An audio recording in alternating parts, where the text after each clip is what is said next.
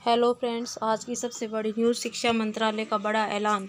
केंद्र सरकार ने टेट क्वालिफाइंग सर्टिफिकेट की वैलिडिटी बढ़ाई। अब सात साल की बजाय आजीवन रहेगा मान्य। यानी जितने भी छात्र टेट के लिए तैयारी कर रहे हैं, जिन लोगों ने टेट का पहले एग्ज़ाम दिया था, उन सब के जितने भी सर्टिफिकेट हैं, वो अब सात साल नहीं पूरे लाइफ टाइम तक वैलिड रहेंगे।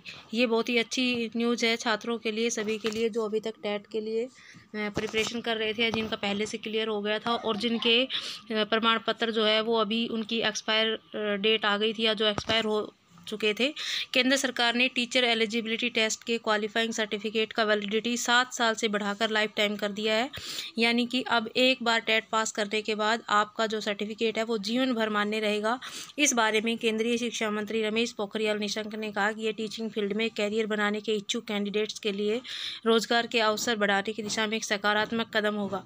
शिक्षा क्षेत्र की शिक्षा मंत्रालय की तरफ़ से जारी बयान के मुताबिक ये फैसला दस साल पहले लागू किया जा चुका है। यानी ये जो वो है, फैसला ये एक जनवरी 2011 से लागू किया गया तो 2011 के बाद जितने भी छात्रों ने अभी तक टैट जो है वो क्लियर कर लिए थे, उनका वो प्रमाण पत्र अब लाइफ टाइम जो है मान्य होगा। और इसके लिए शिक्षा, केंद्रीय शिक्षा मंत्री ने सभी राज्य सरकारों के पास एक लेटर भेजा है, जिसमें उन्होंने कहा है कि ऐसे सभी छात्रों को लाइफ टाइम वाला प्रमाण पत्र जो है वो प्रदान किया जाए। तो सरकार की तरफ़ से ये बहुत ही अच्छी जो है योजना है और इससे बहुत सारे छात्रों को लाभ होगा।